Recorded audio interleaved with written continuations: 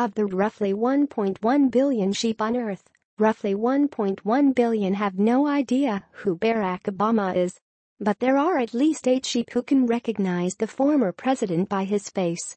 After a few days of training at the University of Cambridge in England, the animals learned to select the former president's portrait out of a collection of photos. Recognizing Obama meant the sheep won a snack. The scientists, in turn, were rewarded with better ways to measure sheep brain function. Sheep are about as capable of recognizing faces as monkeys or humans, University of Cambridge researchers report Tuesday in the journal Royal Society Open Science. The Cambridge flock, eight female Welsh mountain sheep, successfully learned the faces of four celebrities in a recent experiment, Obama, British newscaster Fiona Bruce and actors Emma Watson and Jake Gyllenhaal. Sheep are capable of sophisticated decision-making, said study author Jenny Morton, a neurobiologist at the University of Cambridge. Seven years ago, she said, she bought these sheep out of the back of a truck on its way to a slaughterhouse. Morton, who studies Huntington's disease, uses them as a stand-in for humans, in part because sheep have large brains with human-like anatomy. The woolly critters learn to recognize human celebrities through three training scenarios. In each step, the sheep were presented with two options, a photo of the celebrity facing forward for the camera, or a photo of something else. The farm animals had 15 seconds to approach the celebrity image and trigger an infrared sensor. If the sheep chose correctly, the testing device popped out a treat. The first test was the simplest. The sheep chose between a black screen or the celebrity face. The second round was slightly more challenging. Celebrity profile photos were randomly paired with images of one of 62 objects, all head-sized but lacking faces. A sheep might have had to select Emma Watson versus a football helmet or gas lamp, for instance. The third test pitted the sheep's celebrity targets against unfamiliar humans. We chose the celebrities almost randomly, Morton said, as long as there were lots photos to choose from. I wanted people that the sheep had not met, I am very sure of this. Sheep, on average, chose the celebrity faces correctly in 8 out of 10 trials.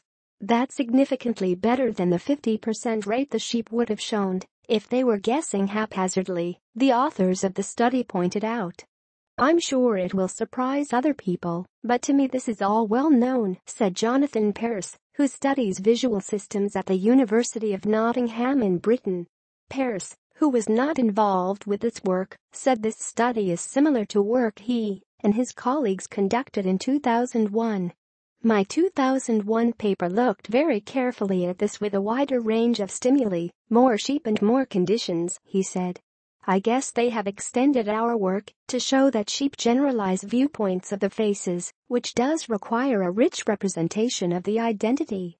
During the training period at the University of Cambridge, the animals learned to recognize celebrities in forward-facing photos.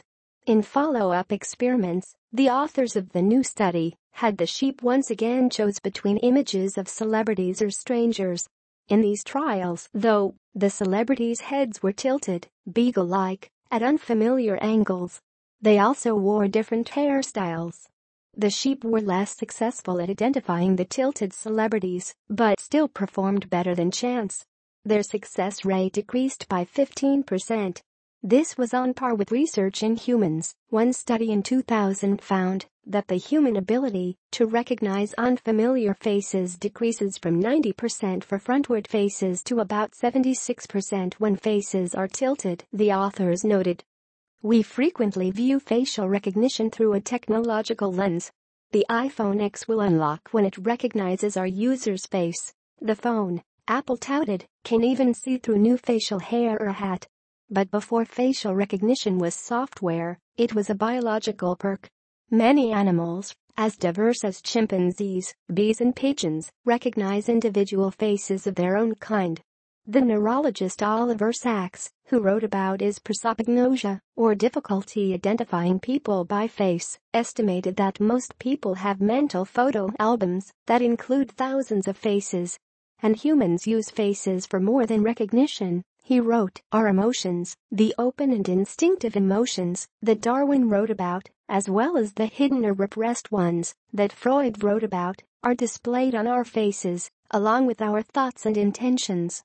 Sheep join the small group of animals shown to recognize human faces, including monkeys, dogs and horses.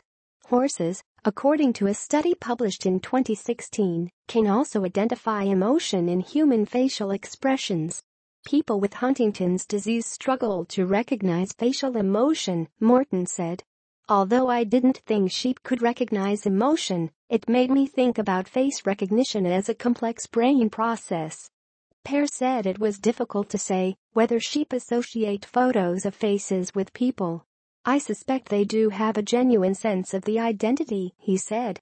In his previous studies, sheep were better at discriminating faces when they were trained on familiar individuals, like a handler or a sheep from their own flock, he said.